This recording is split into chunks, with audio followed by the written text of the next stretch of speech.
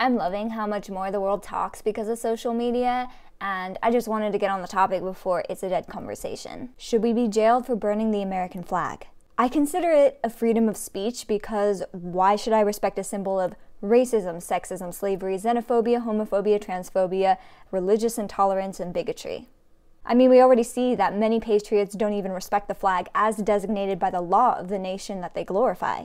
The law stating that the flag should not be embroidered on such articles as cushions or handkerchiefs and the like, printed or otherwise impressed on paper napkins or boxes. The flag should never be used as wearing apparel, bedding, or drapery. So, recreations of the flag on hats, shirts, beer holders, bumper stickers, all of these are technically illegal. Maybe this law was created to prevent obsessive patriotism, people who put too much energy into a symbol that gives it so much power. Flag fanatics are becoming a cult, which refuse to acknowledge the pain, the suffering, the trauma that the symbol of America has caused, not just for American citizens, but for people all over the world. The American flag is a symbol of the dominance that corporations, political powers have over the hearts and minds of the people. Because if you are able to easily influence people with a symbol, you have them in the palm of your hand. We see obsession of the American flag everywhere, and it's lost its intended meaning of unity. The people are torn and divided. The flag has become a symbol of all its past negative deeds racism, sexism, slavery, xenophobia, homophobia, transphobia, religious intolerance, and bigotry. And yes, even terrorism, recruiting Americans to commit genocide of innocent civilians in wars over resources, all casualties of American values. And yet, some people defend the flag, saying that it stands as a reminder for those loved ones that lost their lives so that American citizens can be free, but not free from all of this. But we want to remember the death of our loved ones as being just and sacred, instead of them being used in a political game for power and dominance, dying for nothing more than a commodity. We are told that our loved ones died for our freedoms. But what about the freedoms of the First Nation people? Where are their freedoms? People of color are still trying to fight for their freedom within American borders. Women are still not treated equally. People are trying to control what others do to their own bodies through vaccinations, forced pregnancies, and even trying to control what other people do to their own genitals. Aside from Native Americans, all American citizens are non native. Yet there is violence against immigrants.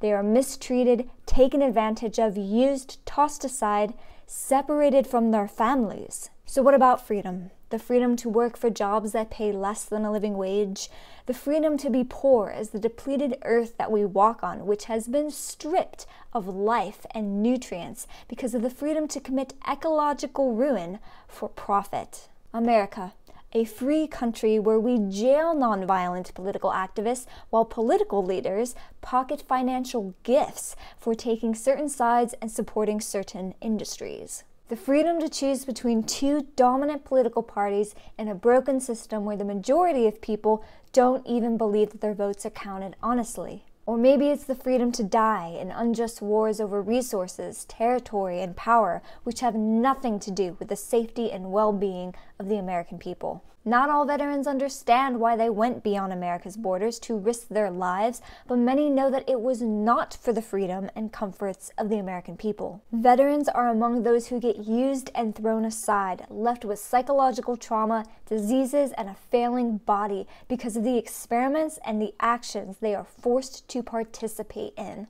My heart weeps for the people who still continue to suffer under the tyranny of American values, the families that are torn apart, and the unwilling casualties of just American wars. The American flag is a symbol which now stands for inequality, violence, deceit, and terrorism. Yet this symbol has captured the hearts and minds of those too proud to accept the ugliness and crimes of the American nation which we are collectively responsible for. Those in power use the flag as a symbol of their dominance over the American people. They fear their power slipping away as they witness the people taking back their power by renouncing the flag. Yet, there are many Americans that find comfort in their slavery because this illusion of freedom under a symbol of hate and greed is good enough for some, but I will not settle for less. We must move beyond this obsession for symbols of oppression. The American flag stands for racism, sexism, slavery, xenophobia, homophobia, transphobia, religious intolerance, and bigotry. It stands for dominance, power, and oppression. If this nation is to have a symbol that will last, we need a symbol that stands for peace, equality, unity, freedom for all, transparency, and truth. But we need a nation of people that actually stand for these values. And we don't need a flag in order to embody these values. Question why people glorify symbols of oppression.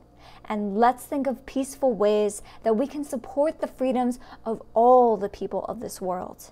If you don't think for yourself, someone else will think for you. Live long and prosper.